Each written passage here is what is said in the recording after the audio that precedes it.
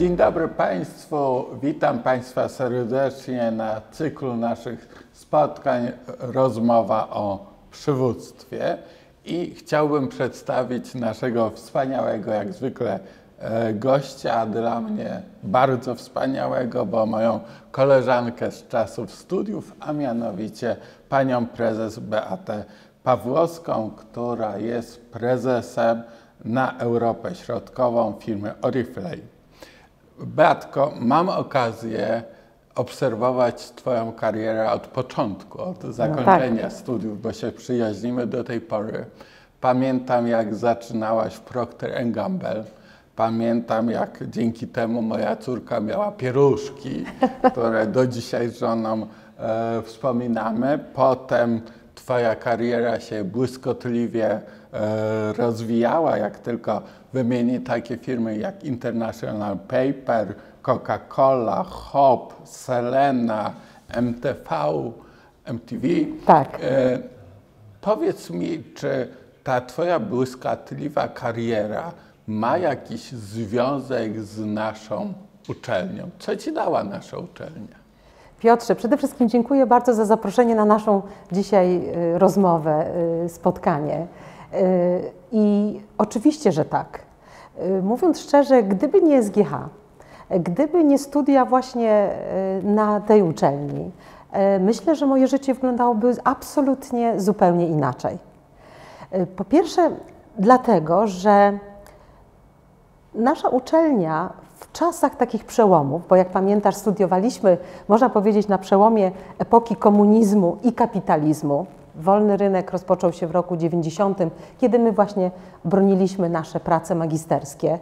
Y, była uczelnią bardzo innowacyjną na tamten czas i otworzyła mi w ogóle oczy na to, e, kim ja chcę być i co chcę w życiu robić. Y, dzięki ludziom, których spotykałam na uczelni, wykładowcom, którzy na tamte czasy byli bardzo bym powiedziała, światli, bardzo innowacyjni. Y, korzystali już wtedy z literatury angielskojęzycznej.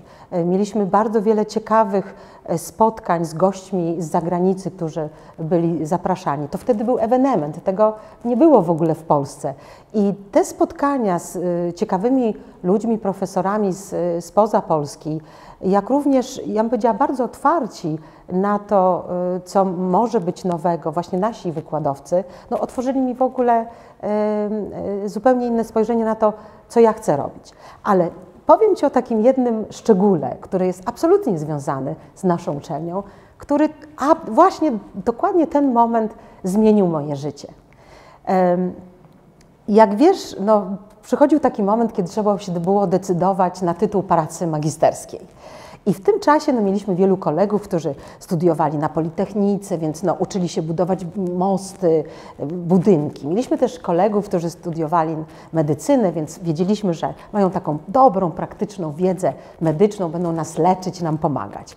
A ja tak po czwartym roku y, wtedy SGH zastanawiałam się, no dobrze, studiowaliśmy organizację, zarządzanie pięknie, dumnie brzmiący kierunek, ale jeszcze w tym czasie, kiedy kończyliśmy te studia, nie bardzo było wiadomo, jak go e, przerzucić trochę w rzeczywistość. Co to tak naprawdę jest to zarządzanie?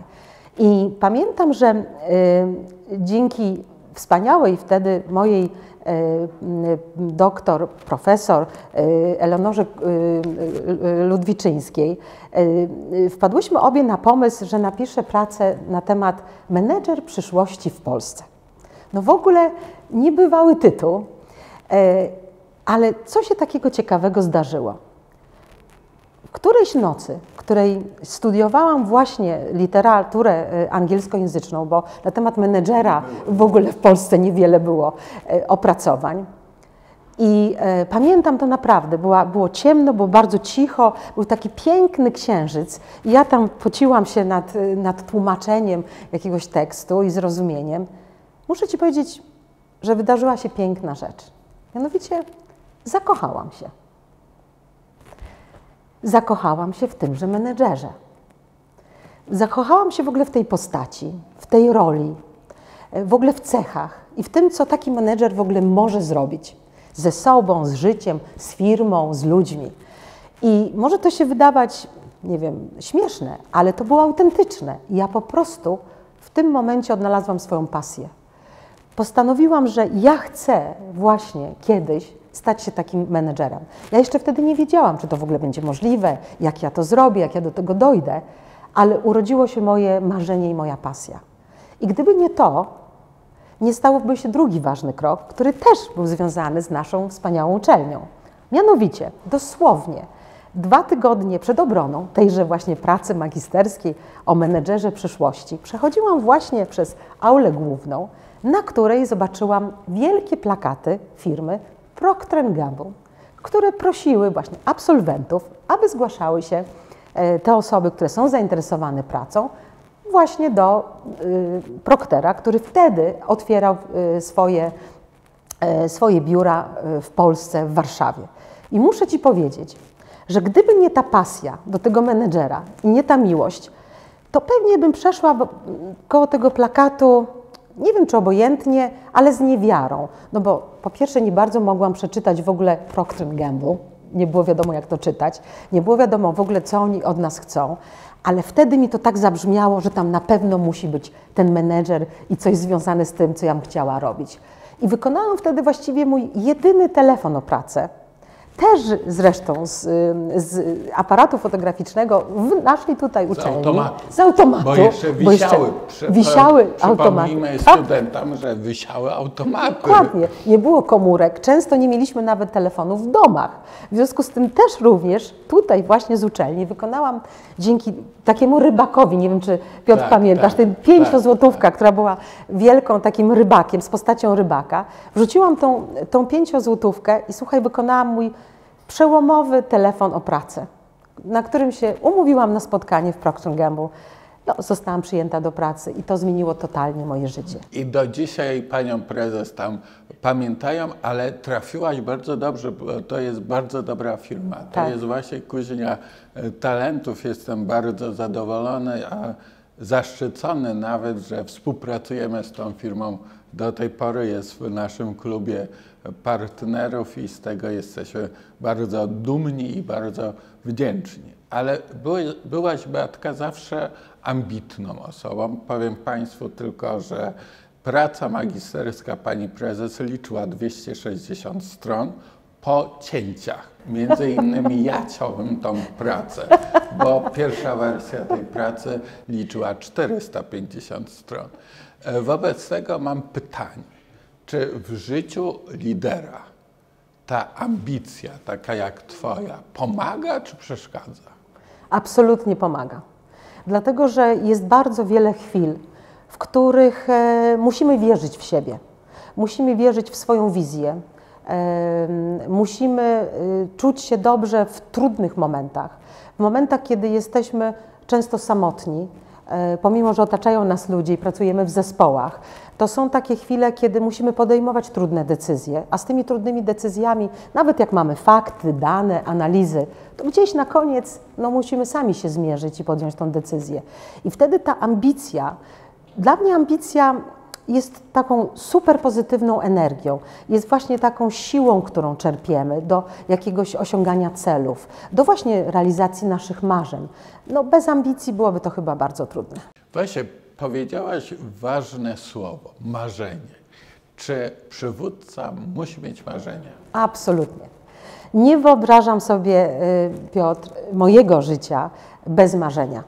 Właściwie wszystko, y, co w moim życiu się y, dzieje, zaczyna się od właśnie tego marzenia, które gdzieś się rodzi a potem po prostu zastanawiam się, co zrobić, żeby to marzenie zrealizować. Ale marzenie musi być, bo ono jest źródłem no w ogóle wszystkich nowych inspiracji, wszystkich nowych rzeczy, które my jako ludzie w ogóle wymyślamy na świecie.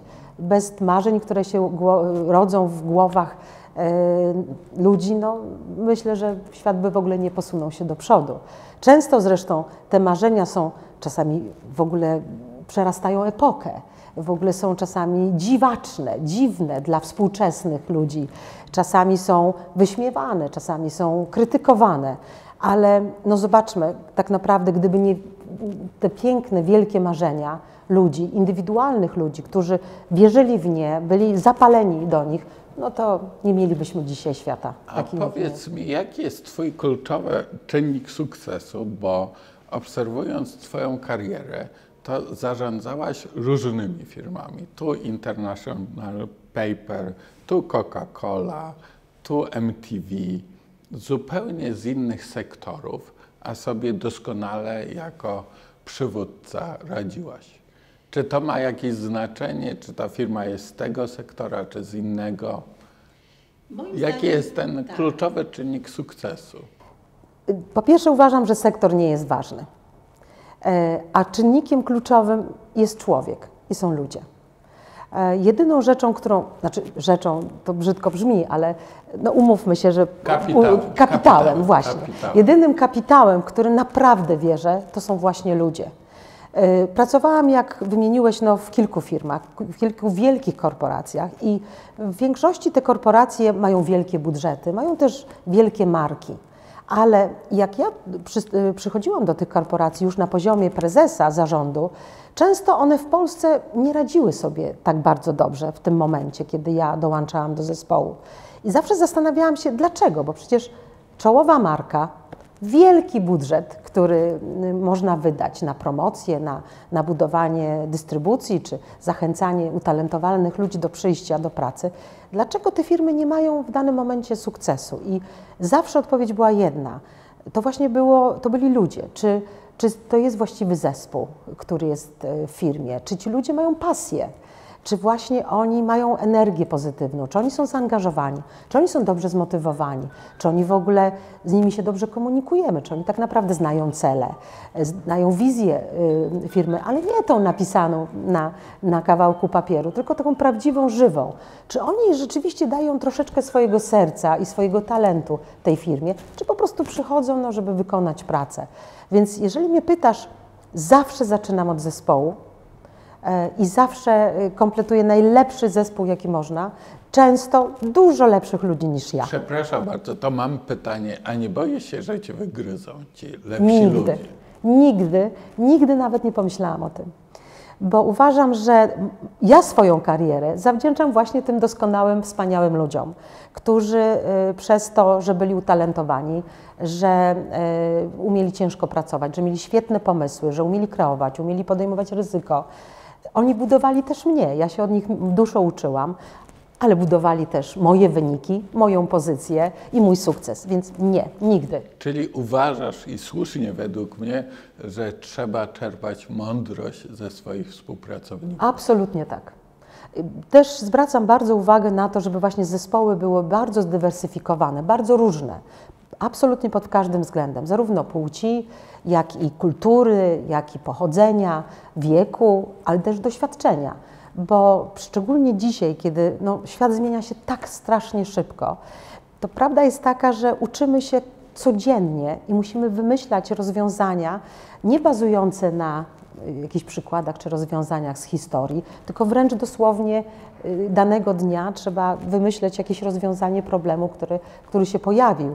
I jeżeli nie mamy wokół siebie utalentowanych ludzi, no to na pewno y, nie będziemy mieć firmy, która przynosi dużo A, a co zrobisz, żeby ci utalentowane osoby nie odchodziły z firmy? Bo przecież w HR jest ten slogan, który niestety jest prawdziwy, że pracownicy zatrudniają się w firmie, a odchodzą od menadżerów. No, widzisz, więc jest to właśnie część odpowiedzi, którą sam y, Piotr dałeś, że e, to jest prawda. Y, my wszyscy pracujemy dla innych ludzi. Ja jestem w firmie dzięki temu, że motywuje mnie mój zespół, y, ale bardzo często właśnie ludzie pracują dla lidera, dla, dla osoby konkretnie, dla swojego przełożonego czy, czy po prostu lidera firmy. Też powiem Ci z ciekawości, że większość rozmów, które prowadzę, e, kwalifikacyjnych, jak przyjmuję e, osoby nowe do firmy, e, to nie jest tylko rozmowa, kiedy ja zadaję pytania. Właściwie połowę spotkania to mnie jest zadawane dużo pytań bardzo ciekawych. Więc to nie tylko ja prowadzę interwiu, ale kandydaci prowadzą interwiu. I bardzo często słyszę taką właśnie mm, opinię, komentarz, że ktoś chce pracować ze mną, że jest zainteresowany oczywiście firmą, ale na równi chyba pracą ze mną, czyli z liderem. Więc po pierwsze, jeżeli mnie pytasz, jeżeli chcemy zatrzymać dobrych ludzi, no to po prostu musimy być autentycznymi, dobrymi, empatycznymi liderami, otwartymi na potrzeby i na umiejętności ludzi. Po drugie, no właśnie, musimy dawać przestrzeń.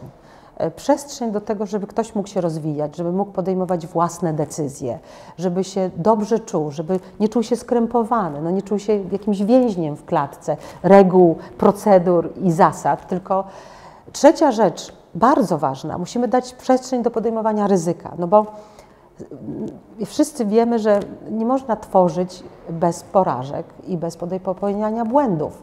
Jeżeli nie damy więc tej przestrzeni na ryzyko, no to nigdy nie powstanie nic wspaniałego. A jak się z kolei nie tworzy niczego ciekawego, no to ludzie nie chcą być z nami. Zwróciłaś uwagę na jedną ważną rzecz, a mianowicie, że między przywódcą a współpracownikami, no, mo, może powiem kolokwialnie, Tak. nie wiem, czy rektorowi wypada, ale musi być ta chemia, prawda? Czyli te preferowane wartości muszą być Absolutnie. podobne, no bo pracowników można wyposażyć w kompetencje, a Tak. trudno zmienić te wartości. I myślę, że to jest ważne, a bardzo często menadżerowie, dobierając współpracowników, nie zwracają uwagi na to, o czym Ty mówiłaś, na te wartości. Absolutnie. Muszę Ci powiedzieć, że ja, mm, jak dostaję właśnie dokumenty kandydata, to przecież jest oczywiste, że jeżeli e, firma headhunterska, doradcza pokazuje mi te dokumenty, kilku czy kilkunastu kandydatów, no to oni merytorycznie wiadomo, że się na tą rolę po prostu nadają. E, I ja właściwie na moich rozmowach nie rozmawiam o biznesie czy o do, dokonaniach. A nawet jak zadaję takie pytania, to pod zupełnie innym kątem. Ja badam osobowość człowieka, e, jego właśnie absolutnie wartości, które dla mnie są naprawdę niezaprzeczalnie święte. I mieliśmy kiedyś taką ciekawą rozmowę, Piotr, na temat wartości, gdzie Ci powiedziałam, że byłam w sytuacji, w której zrezygnowałam z firmy po to, żeby właśnie nie, e, no nie e, rezygnować z moich ludzkich, prywatnych wartości. E, I one są dla mnie bardzo ważne. I myślę, że to jest, proszę Państwa, jedna z ważniejszych lekcji y, z dzisiejszej, czy wniosków z dzisiejszej rozmowy. I ostatnie pytanie. Jakie rady byś udzieliła naszym studentom? Przede Trzy wszystkim takie podstawowe rady. Dobrze. Pierwsza, bądźcie głodni wiedzy. Otwar, otwarci w ogóle bądźcie na świat, na ludzi, na poznawanie. Nie stawiajcie sobie żadnych barier. Nawet jak nie do końca jeszcze dzisiaj wiecie, kim chcecie być, czy co chcecie robić, to właśnie tym bardziej. Po prostu próbujcie, spotykajcie ludzi, chodźcie na różne wykłady, czytajcie książki, e, spotykajcie się z naprawdę ludźmi, którzy mają sukces, którzy są ciekawi, którzy mogą z Wami podzielić się swoim doświadczeniem. Czyli ciekawość, ciekawość świata i otwartość na ten świat. Yy, Nachłonięcie właśnie wiedzy i doświadczenia. Druga. Druga. To odnalezienie właśnie swojego marzenia i pasji. Nie wierzę, żebyśmy byli szczęśliwi, Piotr, bez tego, yy, tego ognia w sobie, czyli bez tego, jak, żebyśmy lubili to, co robimy. Czyli odnajdź, żeby odnaleźli nasi studenci. I trzecia. I trzecia rzecz, wiara w siebie. Nie ma prawa nikt, drodzy Państwo, Wam mówić, do czego się nadajecie albo nie, czy co jesteście warci. Wierzcie w siebie, szczególnie w tych trudnych chwilach, ponieważ na pewno macie rację i jeżeli będziecie w siebie wierzyć, to osiągniecie wszystko, co będziecie chcieli. Droga Pani Prezes, droga Beato, dziękuję za miłą rozmowę i życzę dalszych sukcesów. Dziękuję bardzo. Piotrze, Panie Rektorze, dziękuję też bardzo. Było mi bardzo miło, że mogliśmy ze sobą porozmawiać dzisiaj. Dziękuję bardzo. Do widzenia Państwu. Do widzenia.